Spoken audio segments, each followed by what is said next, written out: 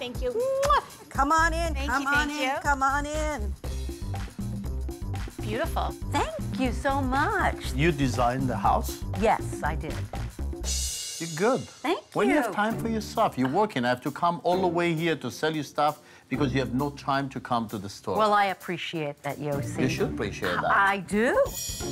I know you have affinity for brooch. Mm. And when I bought this piece, I know I have to sell it to you. Nobody has seen the piece. Yossi's been waiting to get in Oh touch my with you. Let me show it to you. Let me see, let me see. Oh my God. It is so But you know something?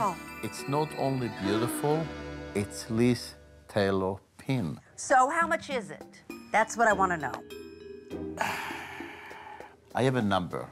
Okay, I'm going to sell it to you for $28,000. give me another price. Are you crazy? I've never spent that much on a brooch. Never. What are you thinking about? 24,000. I tell you something, Yes, Yossi. I'm going to do it. I'm going to give it for 20 Yossi, I love And I, I, you. I deserve a kid. Mwah.